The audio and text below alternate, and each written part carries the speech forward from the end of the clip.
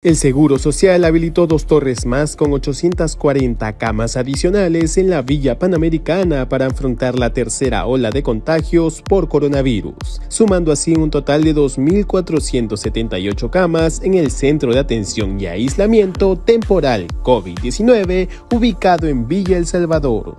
La decisión representa un aumento del 50% de la cobertura de camas hospitalarias en el mencionado centro en ese sentido, Mario Carguapoma, presidente ejecutivo de salud, pidió a la población responsabilidad cívica y social con el autocuidado para no colapsar el sistema nacional de salud. Salud estamos preparados.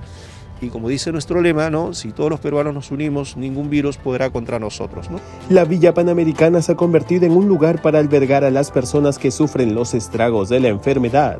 Pero, ¿qué debes hacer si te contagiaste o no cuentas con las condiciones adecuadas para tu aislamiento? Aquí te contamos todo lo que debes saber. En principio, las personas aseguradas y no aseguradas con sospechas o diagnóstico confirmado del nuevo coronavirus pueden aislarse en la Villa Panamericana a fin de evitar que otros miembros vulnerables de la familia contraigan la enfermedad.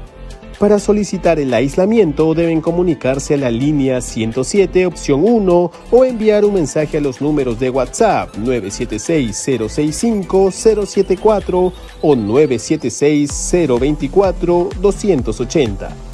El tiempo de permanencia es de 7 días para los pacientes que tienen la infección por varios días y presentan anticuerpos y de hasta 2 semanas si tienen el virus activo. En este último caso, el aislamiento se prolonga una semana más. Una vez que se acepta su admisión, el paciente deberá ingresar en un vehículo particular o taxi hasta la puerta principal para registrar sus datos. La información será verificada por el médico de turno. Luego le realizarán el triaje correspondiente y se le asignará una habitación.